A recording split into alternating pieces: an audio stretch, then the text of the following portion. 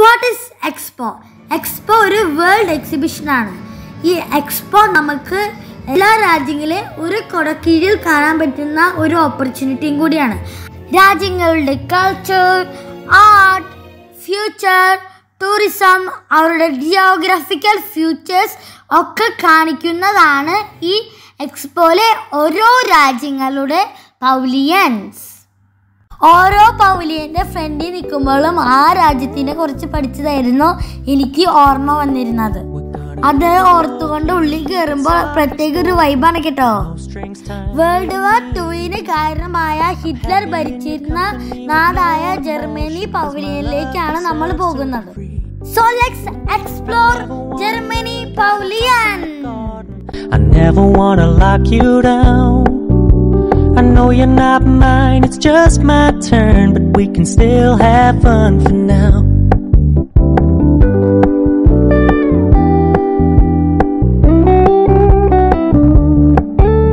You told me you don't really do commitment, trust me. Consider your message received. When you said you couldn't take us too seriously, I must admit I was relieved. Cause I never wanna play happy family. Power പ്ലാന്റിനെ കുറിച്ച് idea തരുന്ന miniature മോഡലാണ് ഇത് ocean വേവ്സിൽ നിന്നും എങ്ങനെ energy ഉണ്ടാക്കാമെന്നും ഈ miniature model നമുക്ക് കാണിച്ചു തരും.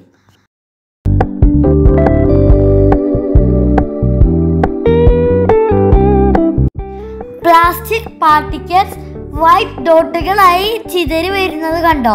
അത് നമ്മൾ ഫിംഗർ കൊണ്ട് കളക്ട് ചെയ്ത് അത് കമ്പോസ്റ്റബിൾ ബയോപ്ലാസ്റ്റിക് ആയിട്ട് അതിനെ കൺവേർട്ട് ചെയ്യണം അതിനെ കുറച്ചൊരു അവയർനെസ് തരുന്ന ഗെയിമാണ് ഇത് I. Meant what I said when I said it, lady.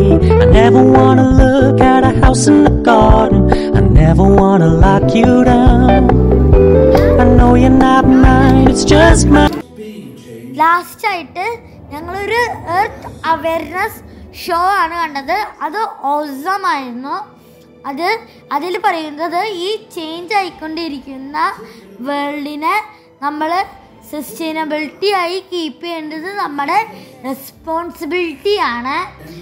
Different ബിലീഫ്സിനും കൾച്ചറിൽ നിന്നും വന്ന നമ്മൾ എർത്തിന്റെ സസ്റ്റൈനബിലിറ്റിക്ക് വേണ്ടി യൂണിറ്റിയുടെ കൂടി സ്വിങ് ചെയ്യുക. അതാണ് ഈ സ്വിങ്ങിങ്ങിന്റെ goal.